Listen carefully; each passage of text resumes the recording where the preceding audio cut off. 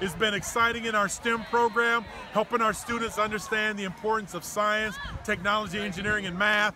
And the atmospheric sciences program has been great with the high altitude balloon. In fact, what our students have been able to program uh, with the CanSat has really helped in the urban garden project because students take the data and are also able to grow uh, certain types of vegetables as a result of the effects of the atmosphere. And, and I learned that helium is really cold, like compared to oxygen. I learned that the helium is lighter than air.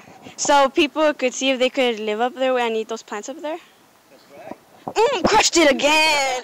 There we set up um, these antennas, so these traced uh, where the rocket was.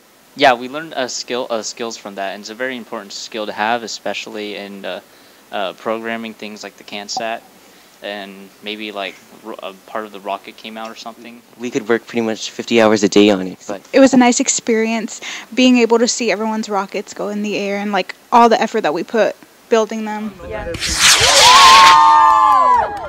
Somebody gave me a G motor. Three, two, one, zero. Ignition.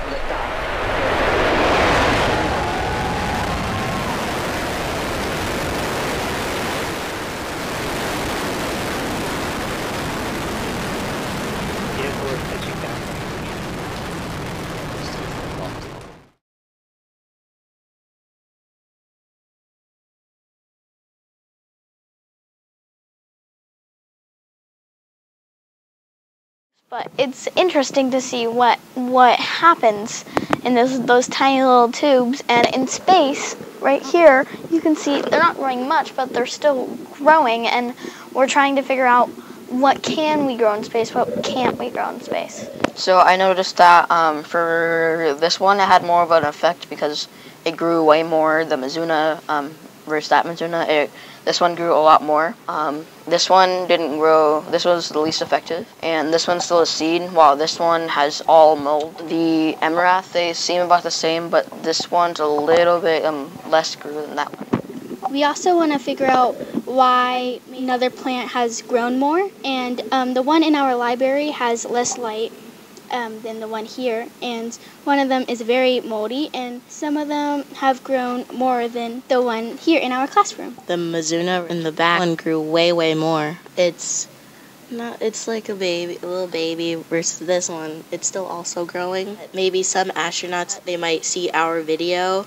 and think, wow, I never knew this.